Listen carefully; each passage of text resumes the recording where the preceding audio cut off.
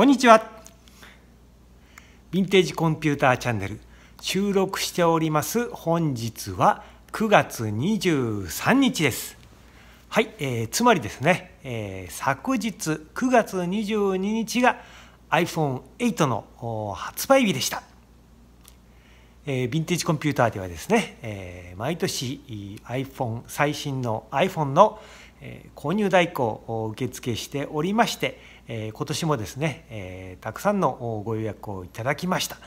えそしてね、え昨日ですけれども早速ゲットしてまいりましたよ。はい、えー、こちら、え iPhone8 の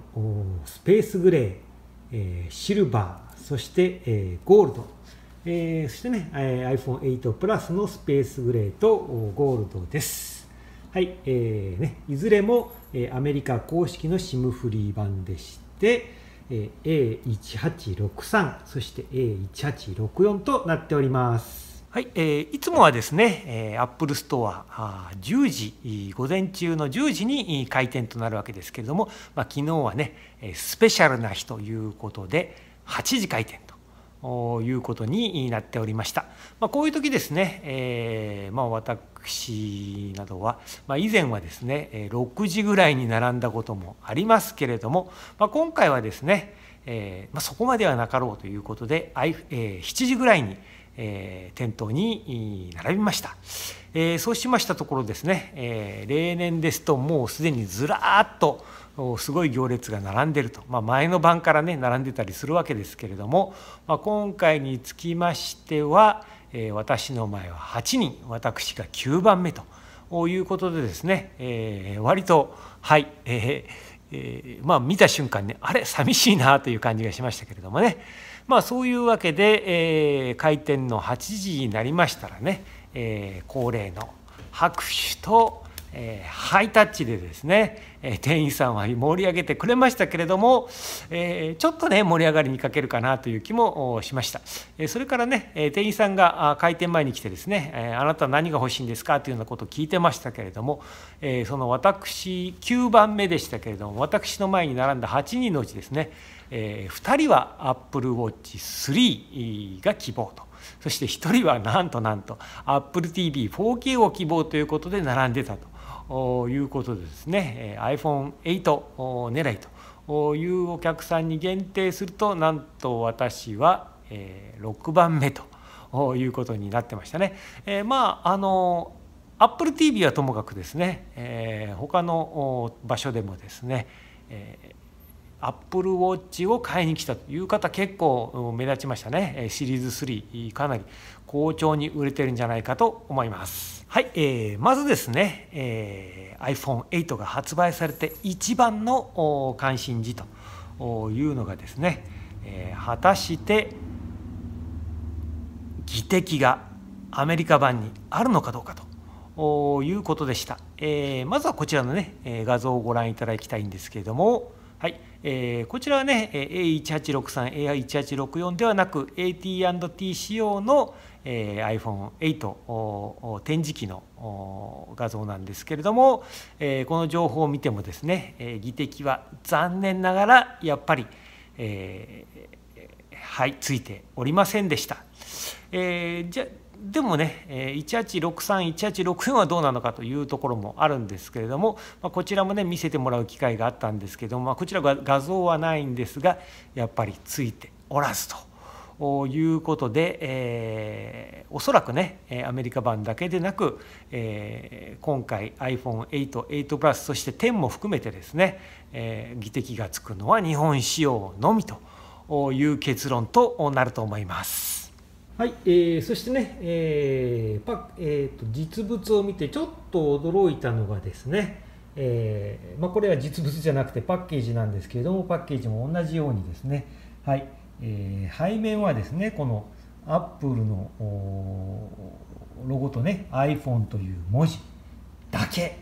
えー、なんですね、えー、従来はですねえー、デザインドバイアップルインカリフォルニアとかねメイドインチャイナとかあとはモデルナンバーなどが、えー、記載されていたんですけれども、えー、それらは、うん、全くなしということでですね、え非常にすっきりしたまあもうシンプルさを極めるアップルらしいと。言えばまあアップルらしいんですけれども、まあ、ちょっとなんかね物足りないような気がしないでもないなとちょっと思いましたけれども、まあ、こういうね本当に非常に、えー、すっきりした表示となっております。えー、iPhone7 の時はですね日本版には総務省指定第何号というのもまで、えー、プリントされててですね、えーまあ、非常に話題になったんですけれどもこれもね日本版情報によれば、えー、その、え、プリントがなく、え、ディスプレイの表示のみに変更されているということです。それから、えー、もう一つね、えー、ちょっと印象的だったのが、えー、カラーですね。えまあ、シルバーはあまあ大体予想通りただね従来のシルバーよりもちょっと白っぽいかなという感じはします、えそしてねスペースグレーなんですけれどもこれね、まあ、従来のブラックぐらいの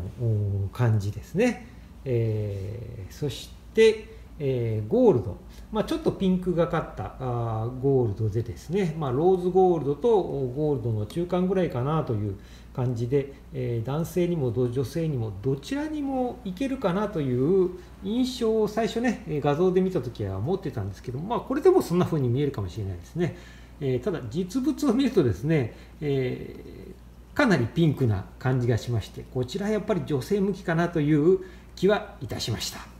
はい、えー、そしてですねえこれまでの iPhone で、まあ、ヴィンテージコンピューターがですね、え最強モデルとして、えおすすめしてたのがですね、え米国版の CDMA 対応モデル、まあ、今回もね、えー、ちょっと見えますかね CDM、まあ、ちょっと見えにくいと思いますけどもこのずらずらと書いてある中にね CDMA 対応というところが記載されておりますけれども、えー、今回はあですね、えー日本の CDMA 対応のキャリアである au がですねえどうも脱 CDMA と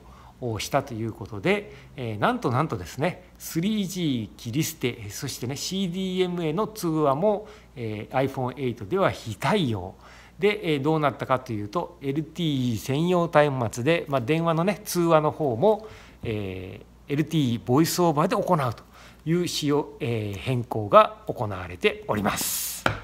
で、えー、au についてはですね、えー、この従来の SIM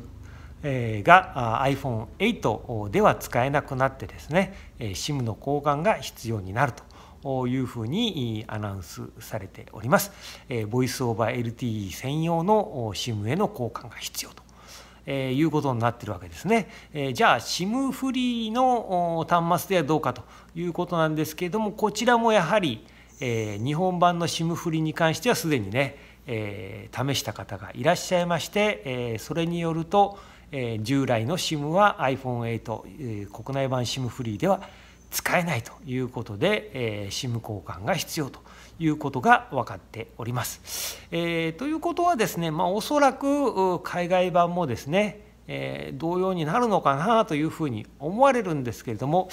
えー、ただもしかするとまだあの従来 SIM が、えー、海外版のね iPhone8 SIM フリーで使えるという可能性はわずかながらあ残っているのかなというかね、まあ、やってみないとわからないんじゃないかなと思います。まあ、あの au がねどういう形で、えー、その従来型の SIM は使えないというふうなね、えー、ことにしてるのかと。まあ、あのハード上はですね、えー、周波数には対応してますんで旧 SIM でも使えるはずなんですけども、まあ、iPhone8 とこの SIM の組み合わせで、えー、使え従来 SIM の SIM では使わせないというね、えー、弾いてるわけなんですが、えー、もう iPhone8 全部弾いてるのか、えー、日本版のね、えー、日本版のみ弾いているのかというところがねちょっと今後の情報がまた、えー、検証結果が待たれるところですけれども、まあ、ヴィンテージコンピューターもですねその情報、えー、入手次第ね、え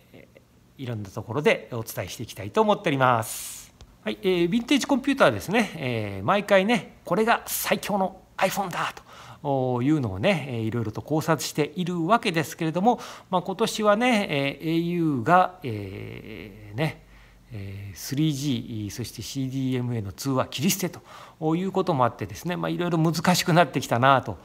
いうふうには思います。え、まあ日本版っていうのは結構最強ということになるんですけれども、まあ、あのカメラのシャッター音が消音できないというね、ま、大きな欠点がありますんで、ま、それで最強脱落というふうに考えますとですねえー、まあ、海外版というのは、まあ、iPhone7 と違って今回はね、えー、フェリカにも対応というふうになっておりますし、えー、やっぱりね CDMA にも対応している米国版というのはね、えー、まあ、例えばアメリカに来た際にも、えー、ベライゾンスプリントの CDMA キャリアそれえおよび、まあ、その MVNO が使えると。いう点もありますしもちろんねえ他国の CDMA もね、まあ、非常に数は限られますけれども、え使えるというような面もありますんで、えやっぱりね、えこのアメリカ版 CDMA の iPhone8、8プラス最強ではないかというふうに考えております。はい、えー、というわけでね、えー、実は昨日ねアップルストア巡りをして、えー、いたしまして、えー、結構たくさんね、え